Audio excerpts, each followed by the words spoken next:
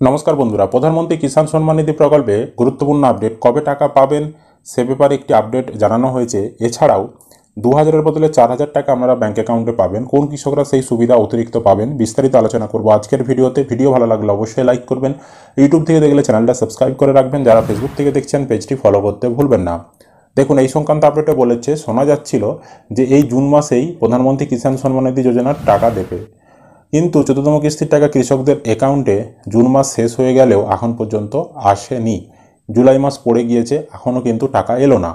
সত্যি বলতে কি, পিএম কিষানের টাকা অ্যাকাউন্টে পাওয়ার জন্য কৃষকদের বেশ কিছু শর্ত মেনে চলতে হবে। যার মধ্যে অন্যতম হলো ই কেওয়াইসি যারা এটা এখনও পর্যন্ত করিয়ে উঠতে পারেননি, সেই সব কৃষকদের অ্যাকাউন্টে টাকা আসার সম্ভাবনা নেই বললেই শোনা যাচ্ছে। কিন্তু ব্যাপারটা এমনও নয় যে কয়েকজনের অ্যাকাউন্টে টাকা এসেছে, বাকিদের আসেনি। তাহলে পিএম কিষানের চতুর্থম কিস্তির টাকা ঠিক কবে নাগাদ কেন্দ্র কৃষকদের অ্যাকাউন্টে পাঠাতে চলেছে? এই নিয়ে বস্তুত কোনো নির্ধারিত তারিখের ঘোষণা এখনও পর্যন্ত করা হয়নি।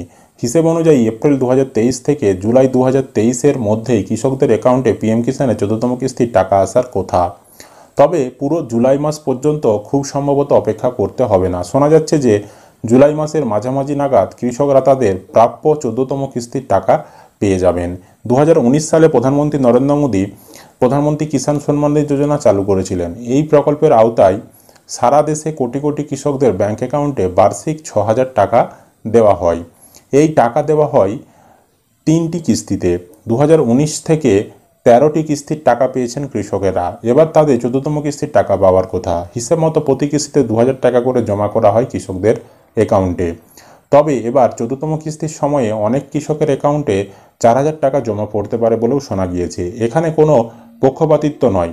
আসলে যে সকল কৃষকদের তেরোতম কিস্তির টাকা পাননি বা বাকি রয়ে গেছে তারা কিন্তু একবারে তেরো এবং চোদ্দ মিলিয়ে দু হাজার দু হাজার মোট চার হাজার টাকা তাদের অ্যাকাউন্টে পেয়ে যাবেন। অর্থাৎ আগের কিস্তি যাদের বাকি রয়েছে, তারা সেই কিস্তি মিলিয়ে এবারে চতুর্থম কিস্তির টাকা পেয়ে যাবেন। অর্থাৎ যাদের একটা কিস্তি বাকি রয়েছে, তারা দু হাজার দু হাজার মোট চার হাজার পাবে। কারও যদি দুটো কিস্তির টাকা বাকি থাকে, তারা কিন্তু আগের দু হাজার দু হাজার চার হাজার প্লাস এবারে দু হাজার মোট ছ হাজার টাকা পাবে। এইভাবে যার যতগুলো বাকি রয়েছে, তারা সেরকম টাকা পাবে। তার সাথে এবারে চতুর্থম কিস্তির দু হাজার টাকা তারা ব্যাঙ্ক অ্যাকাউন্টে পেয়ে যাবেন। সুতরাং বুঝতেই পাচ্ছেন কবে টাকা দিতে পারে? বলা হচ্ছে যে মাঝামাঝি সময় নাগাদ জুলাই মাসের টাকা দিতে পারে। তো পনেরো তারিখ নাগাদ কিছু জায়গায় শোনা যাচ্ছিল, তবে এখন অফিসিয়াল ডেট ঘোষণা হয়নি। অফিসিয়াল ডেট ঘোষণা হলে আপনাদেরকে আমরা ইনফরমেশন জানিয়ে দেবো। আপনাদের কি মতামত, কবে টাকা দিতে পারে, অবশ্যই কমেন্টে জানাবেন। ভিডিও ভালো লাগলে লাইক করবেন। ইউটিউব থেকে দেখলে চ্যানেলটা সাবস্ক্রাইব ফেসবুক থেকে দেখলে পেজটা ফলো করতে ভুলবেন না।